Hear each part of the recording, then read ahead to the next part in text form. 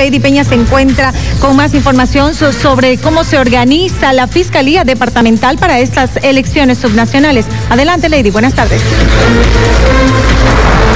muy buenas tardes. Nos encontramos en la Fiscalía Departamental. Vamos a hablar con el doctor Roger María Castillo. Nos dar más detalles acerca del despliegue que también la Fiscalía va a tener mañana en las elecciones subnacionales. Doctor, muy buenas tardes. Importante también el trabajo que va a realizar la Fiscalía el día de mañana. Sí, muy buenas tardes. Buenas tardes a la población. Efectivamente, ya tenemos un plan de emergencia dentro de la Fiscalía Departamental, dando cumplimiento al instructivo emanado por nuestro señor fiscal general del Estado, el doctor Juan Lanchipa Ponce. Hemos realizado y conformado comisiones que están trabajando desde el día 4 de marzo Estamos atentos hasta el 8 de marzo con relación al tema de las elecciones. Todos los fiscales de provincia estarán atentos las 24 horas del día de las elecciones y desde el día lunes anterior están también para cualquier emergencia que suceda y podamos colaborar a la Policía Boliviana, a la Policía Militar y, principalmente al Tribunal Departamental Electoral. Doctor, ¿qué va a pasar con las personas que infrinjan las diferentes normativas?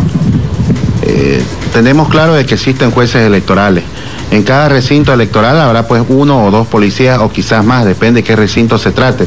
Sin embargo, la policía tiene labor netamente preventivo. Nosotros vamos a coadyuvar siempre y cuando corresponda, sin inmiscuirnos dentro de una tuición que no tenemos. Pero sí va a estar la fiscalía, vamos a estar dando vueltas por algunos recintos electorales para poder sentar presencia. Sin embargo, vamos a respetar el trabajo de la policía y del TEP y principalmente de los jueces electorales. ¿Qué delitos eh, podría trabajar la fiscalía el día de mañana? Existen los delitos electorales, están tipificados dentro de los delitos estatales, eh, dentro de la guía especializada de la Fiscalía Departamental, más allá de que los delitos ordinarios que ya sabemos que están tipificados en el Código Penal, tenemos un fiscal de materia asignado a lo que es delitos electorales con la especialidad. Y, sin embargo, sabemos que más allá de que son unas elecciones que queremos que sean quizás como la anterior, que no fue para que haya un hechos de relevancia dentro de lo que fue las elecciones nacionales, vamos a estar ahí para coadyuvar y que esta fiesta democrática mañana exista un ganador, el cual pueda festejar y los perdedores sepan perder y cada cual se vaya a su casa. Muchísimas gracias. este es el trabajo que va a realizar mañana la Fiscalía con relación a las elecciones subnacionales.